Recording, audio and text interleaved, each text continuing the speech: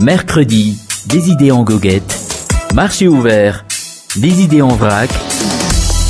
Émission sur Alliance 92, tous les mercredis à 6h45. Rediffusion le même jour à 17h30. Alors la grande discussion marché des idées en goguette, euh, car euh, une question a été posée qui nous fait part que combien d'arrières minimum devrait-on gagner par mois pour vivre confortablement au pays? C'est le débat d'ailleurs euh, lancé tout dernièrement sur les réseaux sociaux. Bien évidemment, chacun y va de son commentaire avec euh, sa réalité bien entendu. Avait ceux qui euh, annonçaient jusqu'à 25 millions d'arrières avec des enfants, donc des surcharges en plus évidemment tandis que pour d'autres, euh, c'est un peu moins. Et un internaute avait alors euh, tout résumé, en indiquant que chacun a son niveau de confort et que le tout est qu'on parvient d'atteindre le nôtre pour dire qu'on vit bien. En effet, euh, John Patricius, on ne fréquente pas les mêmes euh, personnes ou endroits, on ne mange pas les mêmes euh, types de plats, euh, puis on ne s'habille pas de la même façon. On n'a pas les mêmes besoins, ni matériel et tout le reste. Et quel que soit d'ailleurs le SMIC, ce sera toujours insuffisant pour certains. Puis un autre commentaire mérite réflexion également.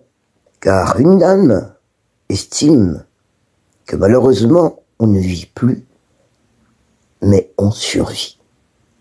Une observation qui, aussi dure soit-elle, mérite quand même de réflexion, dans la mesure où il ne faut pas aller chercher euh, loin pour euh, la tester. Tenez, il suffit par exemple d'aller auprès des hôpitaux et les pharmacies pour en témoigner.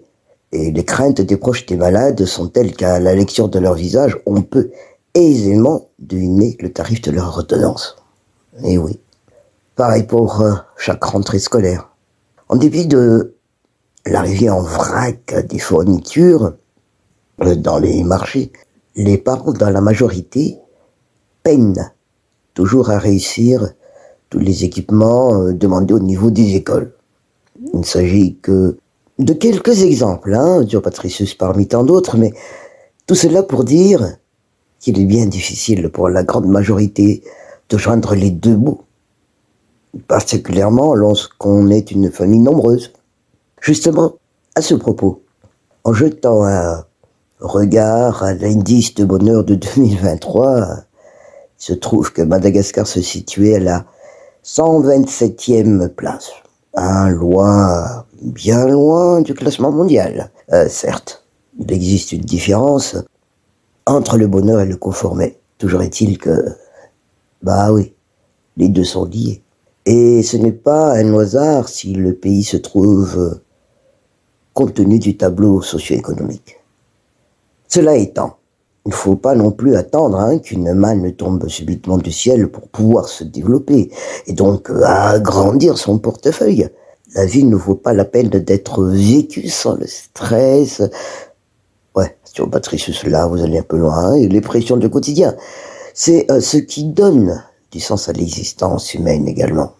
Et les efforts sont indispensables à la vie de tout à chacun. D'ailleurs, les opportunités existent même si parfois, ou tiens, ou souvent, c'est selon difficile à concrétiser. Et il suffit de trouver ce qui correspond avec les moyens à disposition, comme d'habitude. Joe Patricius. Mercredi, des idées en goguette. Marché ouvert, des idées en vrac. Émission sur Alliance 92, tous les mercredis à 6h45. Rediffusion le même jour à 17h30.